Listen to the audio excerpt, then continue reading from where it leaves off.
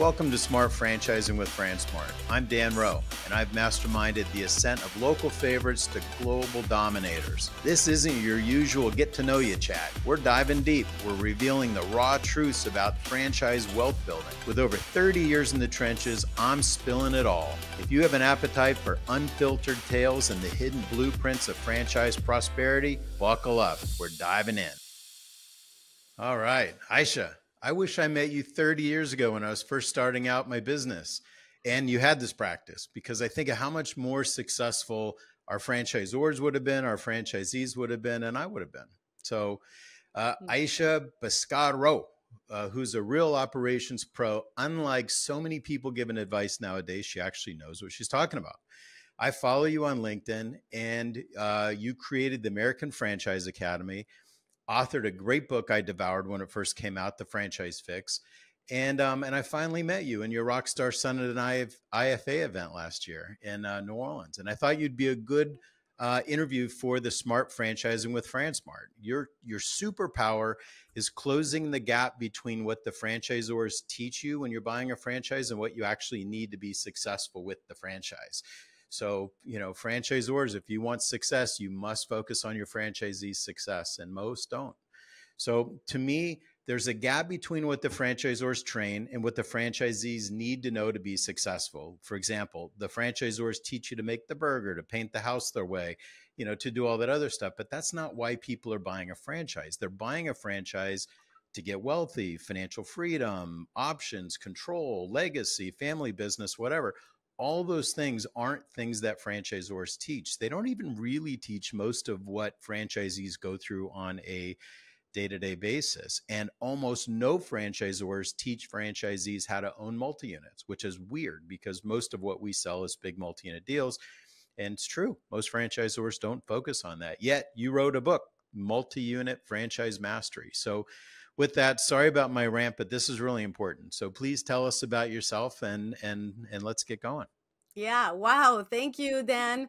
It was great meeting you too, because I've been following you also on on LinkedIn, and we had chatted a little bit here and there, but never actually met. So it was great to finally meet you in person, and very excited to always connect you know a, a, person's you know to their face whoever you know so for me personal connection is so so important 30 years ago, I would have been still learning what I have to mm. learn for me to be able to do what I do now and write the books that I wrote. I was actually going around the world helping uh, master franchisees open the first unit of these global brands that I used to work for and learning everything that I needed to do about how to do everything the right way. So, thank you for having me here today and allowing me to share my message with the world because you are exactly right. I uh, I have had 35 plus years in the industry. I started when I was 10, so don't do the math now. And uh, I have I'm one of those rare individuals that has spent their career in very distinct areas. I would say that literally a decade you know, here and there, I spent actual running operations. My first job was a pizza delivery driver. I became an assistant manager, a unit manager, went from the lowest volume store in Dallas to the highest volume store in Dallas, successfully became uh, a training specialist. And that's when I went into the world helping master franchisees open their first unit successfully. And so I spent and I run um, regions. I was in the Atlanta region for a global brand, overseeing over 60 units in three states. I have uh, actually run it for three different uh, distinct brands, and I don't know if you want me to mention the brands sure, or not. Sure. Uh, so I spent uh, Domino's Pizza. I was the director operations for the Atlanta region, overseeing Georgia, Alabama, and Tennessee. I did that for almost three years. I run the company restaurants for Popeyes here in Georgia. They're the Popeyes and the Louisiana Kitchen casual dining test while while he was still alive, and then I actually run operations for Georgia and Alabama for Olive Garden, Darden restaurants. And uh, wow. it's amazing, directly responsible for the stores. And my last operator job, I would say, actually was running a brand, a small brand called Pretzel And uh, after that, I, I was when I ventured on my own. So a third of my career has been running operations, direct financial responsibility, and team leading. Another third of my career has been actually working uh, the headquarters. Most of the time, reporting directly to, to the chief uh, chief operating officer of Domino's, Pat Knotts at the time, and eventually Patrick Doyle, who became the the president of the company. And then uh, at Popeyes, uh, I, I moved on to support services, also reporting to uh, the COO, Ralph Bauer. And then, of course, um, running a brand. So literally seeing the back of the house of how a franchise brand operates and understands, you know, their commitment to do great, but also the challenges of not being able to get into the franchisee's business. So I understand how that machine works. And the other, you know, third of my career has been in international. I lived in 14 countries. I speak three languages, helping, like I mentioned, master franchisees, franchisors around the world implement these global brands for the first time in their market. And that is such an amazing experience. And that was my third of my career. And so usually people just do one of them. I've done all three and just been very lucky and loved every single moment of it. It came to a time in which I had to decide whether I was going to um, become a franchisee or a, biz- or a business owner or do something else. I literally had to hire a life coach to help me make that decision. And along the way, I started getting phone calls from franchisees, from brands I worked for before, asking me for advice. And it, it was interesting because what they were asking me for was not the brand systems you know product service image marketing. They were asking me about how to lead the people how to control cost how to you know do marketing how to uh, look at labor costs or food costs and where, where they were going wrong in financials and break evens and all of these business acumen that they did not have you know and and and that really all those relationships and questions and and you know i became the accidental consultant uh had me decide that I had really had a, a certain, you know, skill set and experience on uh, this, you know, business acumen that small business owners and franchisees needed to be successful. And it was much more critical when you were multi-unit franchisee. And so one thing led to another. And about eight years ago, I started uh, what is called now the American Franchise Academy. And all we do is we focus on sharing knowledge, resources, uh, files, forms, tools for business leaders, franchisees to be successful. And um, so happy that I did it. Uh, we are filling a gap, like you said, that was needed. And we're having a great time doing it. And really, our purpose is to protect the American dream of business ownership through franchising. That's what we do. Franchisors do a great job at building these amazing brands that bring revenue, which is the oxygen of the business. And now we're helping the franchisees uh, build the systems to be able to turn that revenue into profit that then they can use to scale their organization and truly delegate operations by training their leaders and then have eventually the time freedom that they want and deserve. So that's kind of what we do and uh, and we love doing it every day. No, I liked when I read your book. I I think people that are even thinking about buying a franchise should read your book first because I think it's a a little self awareness about what kind of franchise is right for you. Are you even right for franchising? What's your personality like? What are the people going to be like that you're going to keep? Versus the ones that you're going to run off. So you had a lot of good stuff in there. But the irony too, what what you're saying is you work for big companies talk to big franchisees of big companies and they still have these issues. So the franchisors doesn't matter. It's not an emerging or a mature brand thing. Most of these people are teaching you the function of the franchise not the function of how to run the business. And nobody wants one unit franchisees like not even franchisees. They all want to get 10 20 units and build a company that they could sell someday. And so it's got to run without them right? So, I mean, this is your tools help somebody build a successful franchise. The next goal is really, which is your multi unit book, is multi unit mastery, is really get the business to the point where it grows without you, almost better without you. And, and then if you go to sell your company, no one's ever going to buy it if, if you're uh, tethered to it. So, with that but that that's that's great so like tell us more about why you started this and why you wrote the books like what are some of the what are the some of the specific things in that gap people don't realize franchisors don't teach you yeah, you know, great question. So here at the academy, we separate the business, the franchise business into two very distinct parts. One of them is the franchise brand, uh, sorry, the franchise systems. And what I mean by that, that's the product, the service, the image, the marketing that the franchisor is providing. That is really what you are acquiring when you are acquiring the rights for a franchise brand. You know, just the, the product service image to duplicate that model to then open it for sales, you know, for to acquire revenue, right? To have a product service that customers are willing to give their money in exchange for that product or service. That's one half of the franchise business. That's how we define it. The other half is your business systems, which are the systems that you put in place to control your cost, to hire and inspire your team, to be able to scale your business and to increase revenue year over year. Those are the what we call the business systems that not only turn the franchise revenue into profits, but also the ones that allow you to scale. That other half is what you, like you said, you don't get for the franchisor is one of the things that I call one of the biggest secrets in the industry that when you buy a franchise, you do not get everything you need to be successful. You get a brand, which is amazing because how many individuals in the world actually have the skills and talent or the money to create a product that actually people like to be able to know where where to get the resources for the vendors in the supply chain where to get the graphic design artistic ability to create a logo a brand and name the colors that actually look right. And then you have also the interior design skills to actually have a lobby or a dining room or a spa that actually attracts customers and keep i mean the amount of skills and abilities that you need to have to actually come up with a proven brand is you know tremendous which is why so many businesses fail you know in the first year.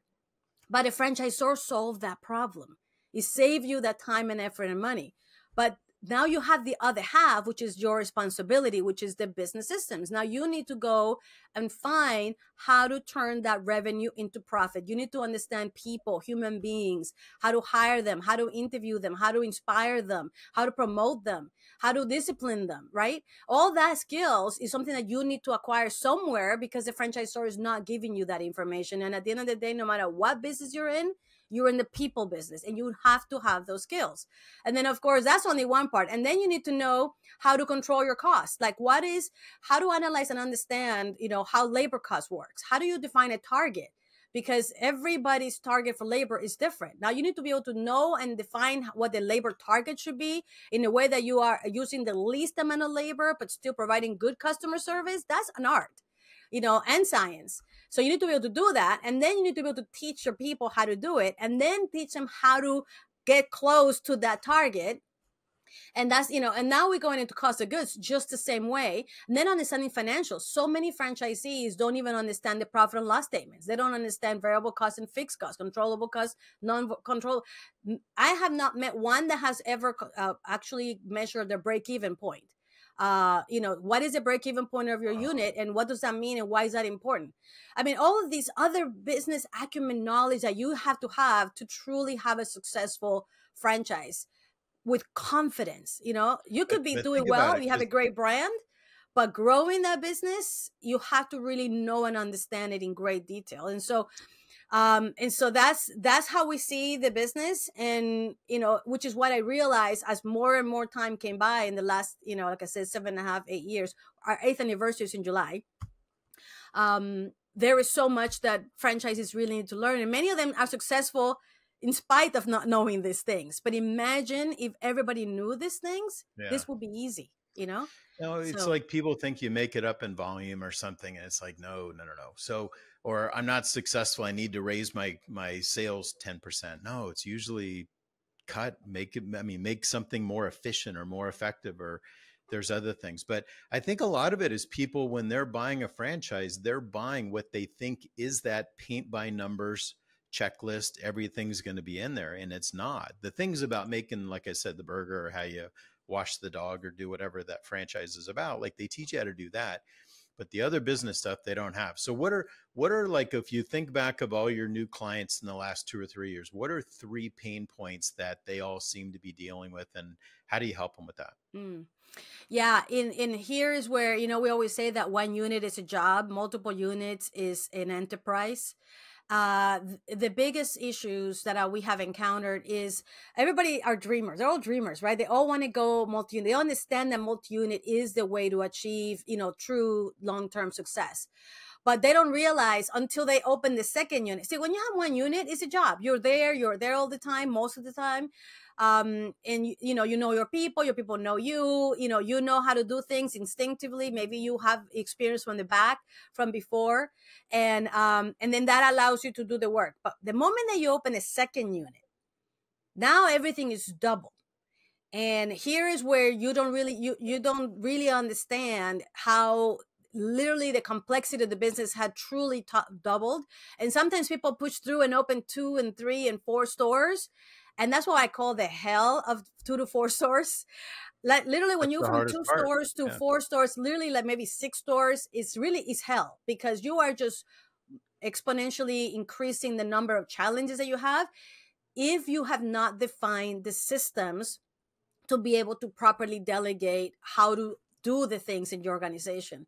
And so mm-hmm. that's really the biggest issues that it is that people grow because they believe and know that that's the best way to achieve the time and financial freedom. But to get there, you have to have the systems. And that's where a lot of people don't have because nobody's telling them. The franchisor's not telling them. All they're saying, hey, new location, new store, new team, let's do it, right? And and you're committed to four or five stores not understanding what that looks like. And you really will not know until you're in the middle of it. And that's when you realize something is missing. This makes that's no sense. How does other persons that have 20 stores do it, it make it look so easy, right? That's because they're missing those those systems and processes and procedures that are not defined or worse yet, not even documented, right? Mm-hmm. Yeah. But you notice the franchisor never misses the procedure about how to get them a royalty. oh no, for sure. so for hey, so sure. so with um with uh like knowing what you know about this because you're not going to be a successful franchisee first of all it starts with even getting the right franchisee. So in your opinion what do you think it makes what do you think it takes to become a successful franchisee? So like if you were if you were vetting people even before we start this whole journey like like what do you think the attributes are of someone who's likely to become a very successful big franchisee? Mm-hmm. You know, okay, so I would say two different profiles. Like right now, I know that a lot of brands are focused on multi-unit, um, and but there's two different potential franchisees. One of them is that equity investors that are going to get a big package and grow really fast, and they're different from you know the franchisee that is in the market, not the area, and is going to be you know very active, you know active in the business you know the profile of that one is going to open one unit and they're going to open two three that individual i would say either one both of them first and foremost need to care about people. Truly care about people. I actually had a i actually had a, a, a call with a potential client one time and he right out told me that he hates the people. He's just doing it for the money and i'm thinking oh my gosh. First of all he yeah. could not become a client because we're very careful with who we let in into our mastermind. And uh, second of all he's struggling and of course and he will struggle forever because if in this business we still no matter what we're still doing it through people. And yeah. we really have to be able to care about them. And if we care about them we'll make the right decisions to then eventually inspire them. And that's i would say that's number one. You need to be able to and know what it means. Like when you are becoming a franchisee yes you're saying yes to becoming a business owner. Yes you're saying to be part of a great network uh, of franchising but you're saying yes to being a mother a father a counselor a mentor a teacher to these employees because nowadays not only are we hire them to work you know the, the job but we hire them to even teach them how to be employees. You know so i would say that is a big one the next one is, you know, you know, you need to know the, the business acumen. You need to be able to understand that this is a, a small business and they don't need to know everything as if they have the ability to access the knowledge right which is you know where the academy came from but is if if the franchisor or the franchisee does not know resources like ours like us they need to have the business acumen because just because you have the money saved from a 25 year career in the corporate world it does not mean that you know how to be successful with a small business. Managing a multi-million dollar budget does not equate to a small business uh, planning you know planning for your annual you know financials. It just does not. And so I, having that business acumen is important. And i know franchisors are trying to achieve that but not very many people have that business acumen you know? And so really you got to go find a way to give them that or encourage them to you know find a ways you know to get it. You know again not that i want to talk all about the academy but the academy is one of those sources that that's what we work on right you know so those two things willing somebody that's willing to learn that has demonstrated a history of growth personal growth and proactive independent growth uh, not someone that is used to being an employee only because if that's the case when you're a franchisee you have to be self-driven. You need to be able to be able to be very organized and be able to be proactive in the things and not just wait for somebody to solve the problem uh, there's many franchisees that are used to being employees and they want to sit in the franchise waiting for the franchisor to solve the problems and it really requires a lot of true entrepreneurial spirit uh, to take on whatever challenges there are and look for answers. Uh, I think that how to make a pizza or a spa or a massage, you know, it's it's it's teachable. It's yeah. just those, you know, EQ, I guess, skills and understanding to business um, is what you got to really look for. You know, if uh, if at least the potential of, and then look for resources that can help you develop the franchisees. Yeah. On this on EQ, what are what are three pain points that people come to you with? Like, what are there things that come up over and over that like you know you're like oh yeah i just i've had four other conversations and half of them were exactly about this mm. Yeah sometimes you know this is and a lot of this is about leadership lessons and skills right? A lot of the times human beings want to be liked. We want to be liked and we think that the way that we're going to be liked is by being super nice giving people what they want and sometimes we're doing that and damaging our business. It uh, having and I don't want to say confrontation, but having difficult conversations with wives and husbands, partners, managers, district managers, employees, literally having difficult conversations with people. Uh, I think that's one of the very important emotion, emotional skills that you need to have. And knowing that having those doesn't mean that the people are not going to like you. As a matter of fact, I, I am one to say that if you are strong, if you are fair, if you are objective and you're able to communicate to the people the why of what you're doing, any conversation, no matter how difficult it is, is possible, especially because you know that you're doing it for their benefit too. It's not just for your benefit you know and that's the thing that i think that is so important for people to to know uh, uh, you know that that ability to have those conversations and and have it land in a way that is still a positive conversation. I mean i talk to people about you know when they don't smell good you know when their clothes are dirty when they are not doing the things that they're supposed to be doing but then actually find out why that is you know and have them realize and acknowledge that really they are responsible. So that's something that that's a skill that it takes time and and and and really willingness to even learn it and understand psychologically, you know, and separate yourself from the people and the good that you're doing. But I think hey, that that's one of the ways, one of the mm. things. Mm-hmm. Hey, pretend you're talking to franchisors right now, giving them advice. What are three things that they should teach that they're not teaching now? Mm.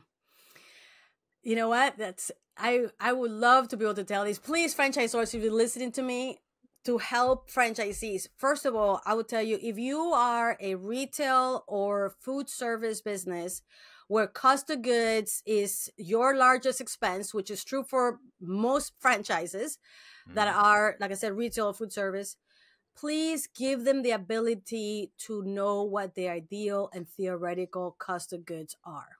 Please because I'm teaching them that that's a franchisor system, please, you know?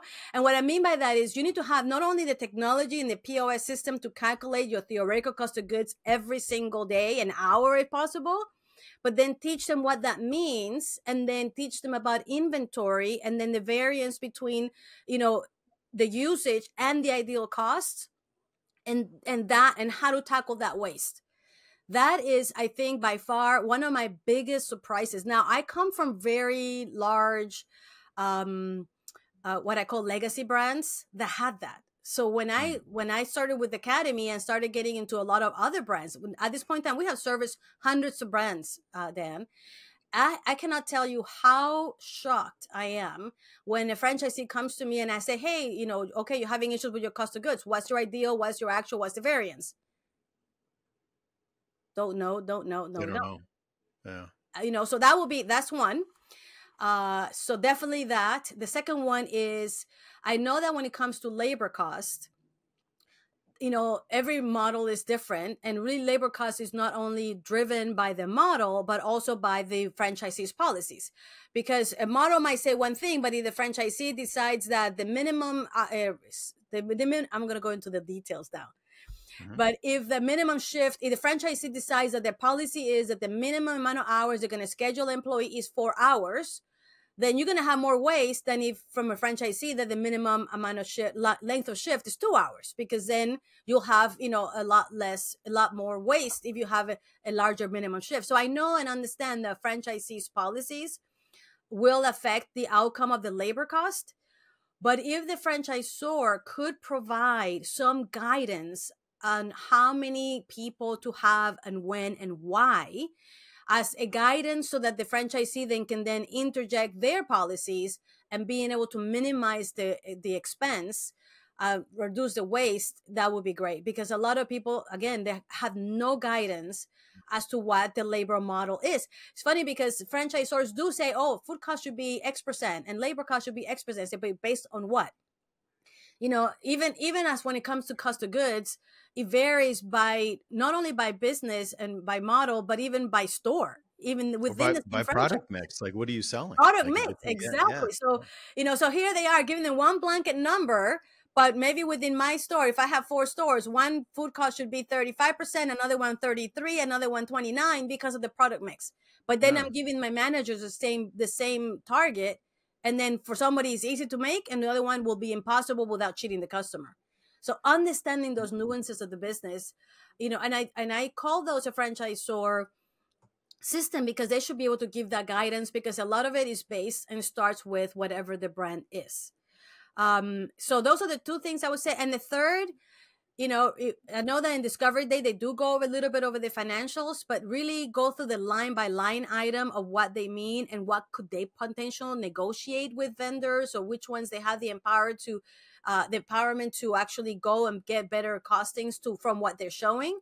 Uh, that will give them a little bit much better view uh, of what their financials will look like and how they actually can control the outcome of the profitability. So really, a lot of I would say is just that part. Mhm. We're going to stay on financial. We'll we'll touch on each of these real quick, but um, and also turnover. Like franchisors don't teach. Like you're not everyone you hire is staying. It's like how do you deal with a booming franchise in the face of losing people? It's like it's all something you have to teach. Otherwise, someone's going to crash their way through that. So That's a, it's a good point. the- you know, I actually, you know, sorry about that, but I actually don't put that on the franchisor because that's about the people.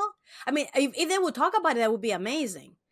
But I really think the franchisee needs to know that. You know, I, I would say that the f- turnover is the largest hidden expense in any business. The largest totally, yeah, because totally. it's hidden in every single line item of your P&L and you're not even looking at it. You have no clue, not measure, no metric, no goal, nothing. Yeah. Mm-hmm. Well, and then there's another subject like, you know, even if the wrong people stayed, now what what's that cost to your business? But back on the financials. So one thing that I notice, and we make this for our brands and our franchisees, like I'm so surprised when a franchisee opens, so many times the franchisee, even if he's busy his first month, will still say, I'm out of money. I'm not making money. I'm bleeding cash. And it's like, why, what, why do you say that? And they're like, well, I have no money in my checking account. I'm like, let me see your financials. And they like, I haven't done my financials.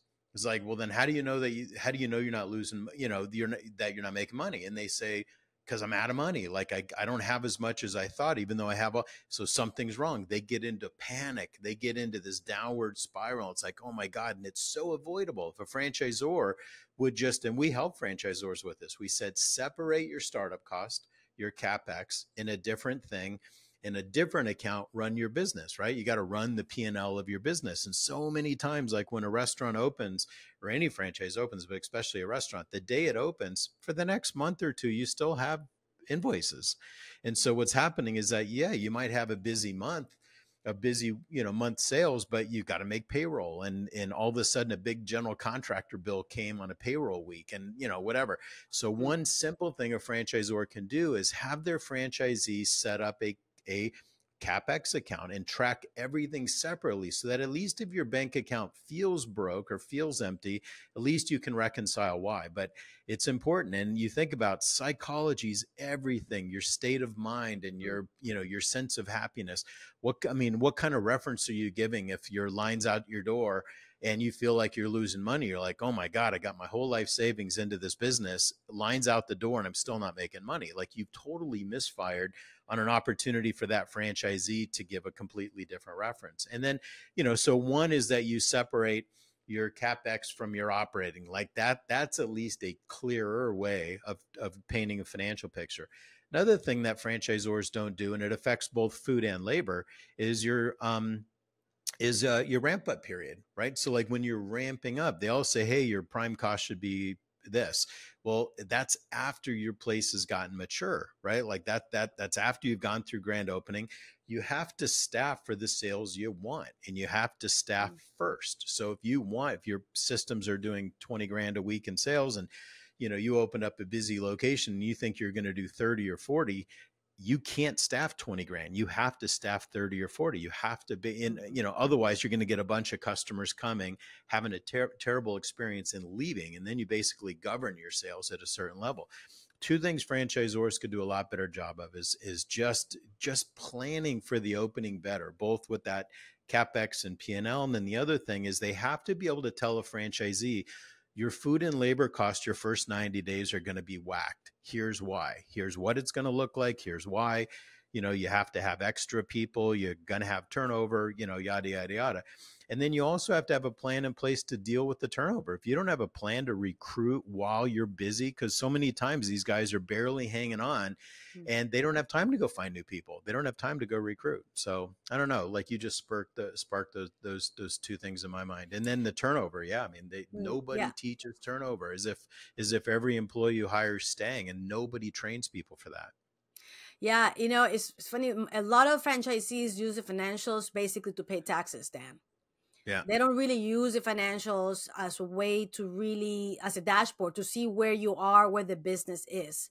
And uh, and that's absolutely critical. They, it, and they should actually not only should they um, use it to analyze that but they ha- should have when you first open a franchise you should have a business plan a 12 month business plan which i assume they're submitting that when they're getting the franchise in the first place. And what happens with that plan? Do they just throw out the window or is there any feedback in there as far as when the first month's what it should be I don't really know about that, but uh, if you have a financial plan, that's something that we teach our franchisees every October. We have our uh, a three day financial planning for the next year, and uh, so they have a clear picture, or, if they meet that financial plan, where they're going to be by December of the next year, and it's a month to month, you know, plan, so that they can actually month to month look at where the plan was, look at the final financials, compare those, and see where the variances are and then move on to the next one. The same thing should be when you open any new unit. If you have a new unit, you should have a fully you know developed financial plan especially if you have over prior units where you can have a very accurate one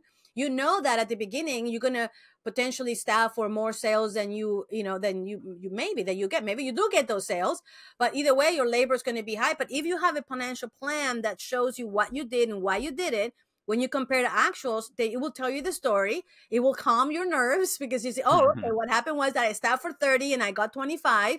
So turnover will happen. So people will leave, the better ones will stay, and then we'll continue. And then as we need, we're going to hire more people. But you need to have that knowledge and understanding. And when you first open a new, your first franchise, you do not have that.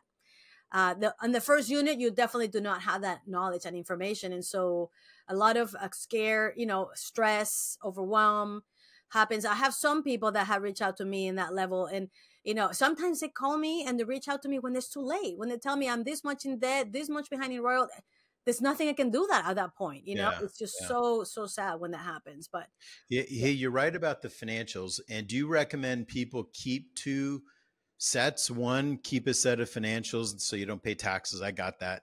But then the other part is there needs to be a set of financials. If you ever do go sell your company, obviously you can't show that set of financials. You need to show the upside. But even having that just for sanity check or something, just, I mean, nobody buys a franchise for a stack of contracts and all the liabilities that comes with owning a franchise. They're buying it thinking they're getting to a new place in life. And there's just so many of these avoidable, uh, uh, problems that that freak people out and they never get there yeah, I don't really recommend. I don't say that you should have two sets of, of, of, financials. I say you know you should have the right one and put the right things in it. Um, you need to understand what it says. You know, like don't have your accountant do it. Like you have to do it. When we do it, we do it with our clients. We we step by step. This is what this means. This is what that means. You know, tell me about the history. Tell me about your first opening or your last opening. What happened? Oh, consider that. Might, like really understanding the business at at a very detailed level. And i know that it sounds like it's a lot but if you do that in the first you know few a couple of years of you being in business by the time you're 20 you have 20 units it will be easy. But if you really spend the time to really understand anything that you don't understand clearly so that you can explain it to somebody else you need to learn it. Understand it. See the history. See what happened. Why it happened. Dig deep because once you get that level of knowledge and understanding you'll have it forever. And then you will not have the questions or the concerns because you will know what is happening and what to do about it. So i really think that that that and some people are just too busy. You know it's you know it's kind of like whenever you know we have all these you know we signed to a new platform and oh oh here's oh sign this agreement for all the what do you call it all that big old 10 page long you know uh requirements and you say yeah sure i i read it yeah you know yeah, yeah. it's like that they don't read the they don't read the, the franchise the franchise agreement and they don't read their financials it's like oh my gosh yeah. so Hey, yeah. hey, where's give us an example or two of where somebody was off track and you helped them get their business back on track. What are the things that are easy for you to work with them on to get them back on the track that they wanted to get on? Mm-hmm. So, so we focus on the on the business management systems, right? Anything to um, to manage the employees, to manage your revenue, to manage your financials, to and to scale into multi-unit and and build your leadership organization. So I'm not a financial advisor. So I don't know. I cannot advise you that I'm not a banker. I'm not a lawyer. I'm not an HR specialist. Uh, for that, you really need to go to experts on that. What what we do is when people are in that two to five unit of hell and they don't know how to ring this bear back and how to control it, um, that's kind of what we help. So you know, different ways. I had a client that joined us before he acquired seven units. He acquired them all in one chunk. Uh, but he actually looked for knowledge. He a financial ba- uh, banker background. Uh, mm-hmm. He did grow up uh, in a franchise with uh, his family, actually making sandwiches. But he knew that all his parents allowed him to do was make sandwiches. They never gave him a view into, you know, the business side. And even though he went into financial and banking, and that's how he saw how many franchises were successful, you know, how he decided to actually he did is acquire his parents' uh, seven unit brand uh, franchise. And so, but before when he was in the process of doing that, that's when he found me and said, "Hey, Aicha." This is my background. I know how to make sandwiches. I know how to do the finances in the back. I don't that thing in between of the people and the structure and the training and all that. Don't know anything about that. And so that really is our sweet spot if you if you have one unit or about to acquire one or more and you want to know how to set the systems in place so that you can define and document the processes and procedures and policies that you need to have in place so that you can train your people and delegate operations so that you can grow into multi-unit and scale that's what we do the best. So here's an example. Uh, within two years he went from zero to i think 20 now 22 um, nice. And he was able to do it that fast because he properly implemented all those policies, processes, and procedures in place into an organization that already existed. So he had to even change the culture and roll all these things out and change the way things were going. And it worked out so well that he's at 20 and looking for more. His goal is 100 now. You know, nice. now we have a different franchisee that had a uh, also multiple units. I think he had like eight smaller brand. Um, he was having challenges with it. And, you know, when he joined us, uh, we taught him about the systems and processes. That he found out, you know, wh- where the issues were and why they were where they were. And he realized that he was not with the brand that he was going to be able to scale. And so he implemented the systems, cleaned it up, you know, create structure, and eventually sold that brand and went on to move on and do other things. And so, you know like that we have like i said tons and tons of stories and our our the usual is you know franchisees like i mentioned that are wanting to grow or are in the middle of growth and they can't sleep they don't have vacations they cannot leave they are being buried in phone calls because they don't have those systems in place. That's what we help them with yeah. So they've got to be able to take a step backwards to get several forward and you know yeah so to summarize franchisors should acknowledge that the hardest part for a franchisee is is going from two to four, from I guess one to you know five or six, until you've got that multi-unit team and and that your business is working off of systems off of systems and so yeah we usually say the first district manager area like in and, and and how many units it depends on the volume and the cash flow of the business that is able when are you able to hire that district manager so really from one unit to the first district manager, that that is the that's the hard work right there. But like if, uh, fran- if a franchisee, if he can't leave for she he or she can't leave for a month and go on an amazing vacation, take their family on a vacation, if they can't do that because they're worried their business will crumble, they don't have a business. They have a exactly. job. yeah, they bought exactly. a job. So and I think that would be that would be a great a great measure have you gone on vacation in the last year? The answer is no. Then then you need systems. Basically. Yeah. That's it. Okay. Yeah, mm-hmm. that that's good. This is helpful. So um and so you have 300 plus videos. Is that what you were saying? You've got 300 videos and anecdotes and tips and tricks. Yeah, yeah, many. Yeah, a, a few years, a couple of two, three years back, I started a YouTube channel uh, where I started to share, you know, tips and you know best practices for franchisees. Our, like I said, our focus is the franchisee. Uh, there's so many people that are focused on helping franchisors in in all kinds of ways, and and we made a conscious effort of conscious choice to help franchisees. And so, you're gonna go to our YouTube channel, the American Franchise Academy. And you're going to see lots and lots of videos really guiding franchisees on how to become you know top performing multi-unit franchisees. And yeah so that's how how we do. And we have also another playlist uh, where we have actually what we call the franchise wisdom where we have interviewed several franchisees that have been successful at becoming a multi-unit you know franchise. And some of them are retired some of them are doing it right now.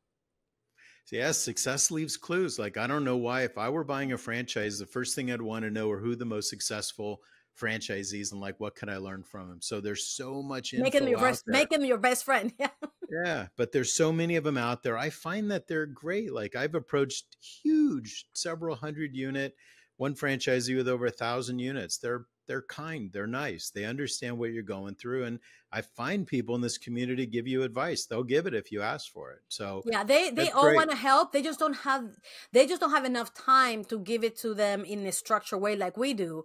But absolutely, all franchisees everybody if they can help they will help i have not met one that was not willing to have a conversation with you and answer a question or two for sure yeah so on your other book the multi-unit franchise mastery i'm going to order that next what is one or two good lessons someone learns from that? What's what's one or two good things that they can pick up to get through that purgatory of two to four stores yeah, you know, great question. Um, in that book, I actually show the progression on when you should be adding to your infrastructure. Okay. Uh, in in that book, it really share it, it really talks about you know the view of a multi organization and how you have the operations and how you have your admin and then you have your you know your uh, district manager responsibilities and it talks about when do you start adding you know internal employees versus external employees and how to scale the organization and what to what's whose responsibility to do what. Because i think that's one of the questions i had a call with today with the franchisee i said look you you know they were already at nine stores. I said well you need to hire a district manager. I said we don't even know what the district manager does.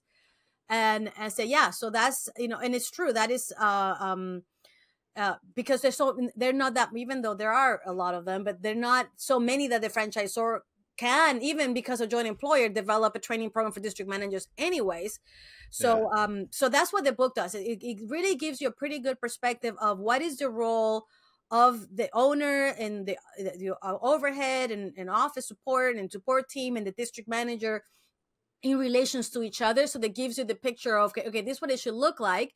And yeah maybe at the beginning i'm doing everything but then as i'm growing then i can add this particular resource that might be external at the beginning. And only once i get to a certain number of stores will they would i bring them internally? Like literally how do you take those steps to grow and understand that that's the that's the that's the journey right? Because when you know where you're going it's easier to accept where you are right now and do the hard work because you know that there is a light at the end of the tunnel where you're going to be. But a lot of people don't even know where that end of the light, tunnel light looks like, you know? And so that's what that book, I think, uh, does for people that are or want to become multi unit. Mm-hmm. Well, I remember when I met you, I told you I think franchisors should hire you, and you said no, our customers are franchisees. And I, am not to argue with you. I think franchisors should hire you because mm. you're like this middleware because most people that work for franchisors, most of the people supporting franchisees, they don't know what you know, right? So, like the people that are the area rep, the franchise support reps, whatever you call them, franchise business consultants, mm-hmm. they don't have your background. So, they can only give superficial um, advice and insight to their franchisees. So, mm-hmm. yeah, no, this is well, great. I would wow. tell you that franchisors have actually looked for me and and obviously i don't don't not talk to them. Obviously i i want to help everybody and helping you know we are franchisee advocates franchise franchisor supporters. I love franchise franchisors but because of them the american dream of business ownership through franchising is possible. So hey love you guys ladies. Yeah. Um i, I have a couple of them approach me and i have actually a couple of them that any of their franchisees that want to go multi-unit they're required to go through our mastermind program yeah, because good. they don't good. they have had failures in the past and they wanted to avoid that. I say, hey, they found me, we have a conversation, we tell them what we do, and they say, you know what? Oh my anybody wants to say they want to be multi-unit, they're gonna have to go through, through your program. Other franchisors do reach out and we do, you know, training. Sometimes we go do presentations for the conferences and things like that. So I do I do support franchisors for sure. Um, yeah. We're focused on look is reaching out to franchisees, but if any franchisor out there would like to have a conversation and how we can help them, I'll be happy to.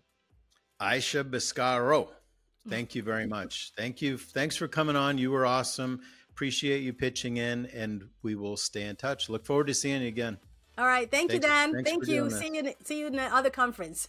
okay. Bye-bye. Bye. Hey, thanks for tuning in to Smart Franchising with FranSmart. I'm your host, Dan Rowe. If you enjoyed today's episode, this podcast is only going to get better. Please like, comment, and subscribe to hear more from the most successful franchisors and franchisees, and we'll see you next time.